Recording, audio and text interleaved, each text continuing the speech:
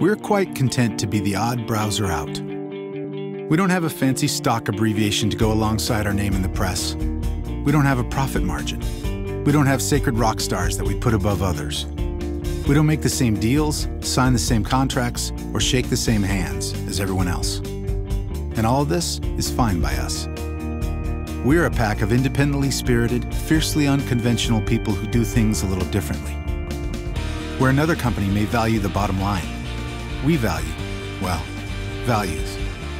When a competitor considers making something proprietary, we strive to set it free. And while most products and technologies are developed behind closed doors, ours are cultivated out in the open for everyone to see. We're not beholden to stake, share, or power holders. We answer to no one but you.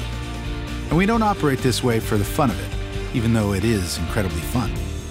We operate this way because we believe it's the right thing to do. We believe in principle over profit. We believe that secrecy is trumped by honesty, and corporate interest by community.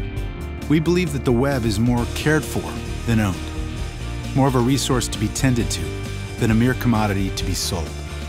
And we strongly believe in innovation that puts users front and center and squarely in the driver's seat.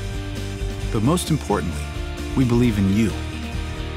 We believe that the world's best browser is made possible by engineers, programmers, designers, and people just like you, who give their time, talents, energy, and support to the cause.